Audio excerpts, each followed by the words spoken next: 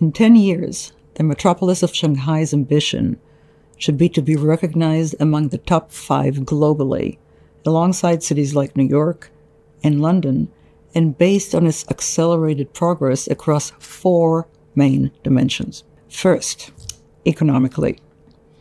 The current five center initiative an International Economic Center, Financial Center, Trade Center, Shipping Center, and Science and Technology Innovation Center will continue to drive Shanghai's economic development. Second, talent wise, Shanghai must enhance its openness to more students, academics, engineers, and scientists from both across China and around the world. Third, from a quality of life perspective, the city should develop into one of the best places to work and live in the world.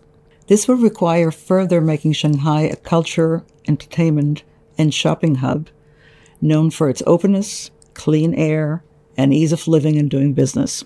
And fourth, Shanghai needs to build its brand recognition worldwide for the points that I just mentioned. For this, Shanghai can leverage the extensive sister city network of 94 cities around the world. That way, it can ensure that visitors as well as foreigners living in Shanghai become genuine promoters of the city abroad.